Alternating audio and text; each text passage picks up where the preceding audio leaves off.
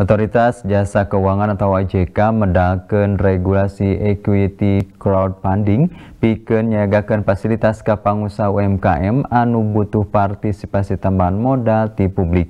Kepala Eksekutif Pengawas Pasar Modal OJK Husen netelkeun tepika kiwari dalapan platform anu daftar pikeun nampai izin ti OJK patali jeung eta equity crowdfunding. Minangka tarekah pikeun ngarojong kamekaran usaha mikro kecil dan menengah atau UMKM, Otoritas Jasa Keuangan atau OJK medalkan regulasi equity crowdfunding.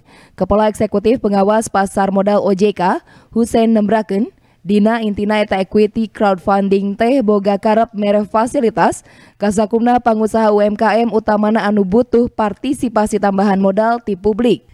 Regulasi anu dipedalkan dina nas-nasna ngatur platform anu bakal natawarkan partisipasi kamang pirang pausahaan anu butuh. Ngaliwatan fundraising per tahun anu maksimal 10 miliar rupiah, UMKM dipiharap bisa go public ngaliwatan eta equity crowdfunding. Kukituna pausahaanana bisa lebih gampang tumuwuh biar bisa UMKM juga ikut. Oh iya, jadi equity crowdfunding itu sudah diterbitkan regulasi dari OJK.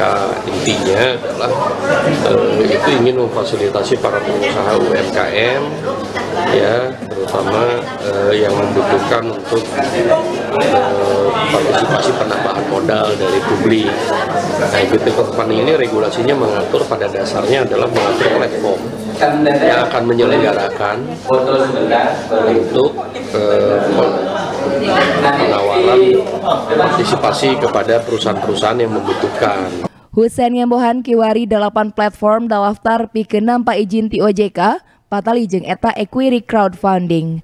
Budi Hartati, Bandung TV.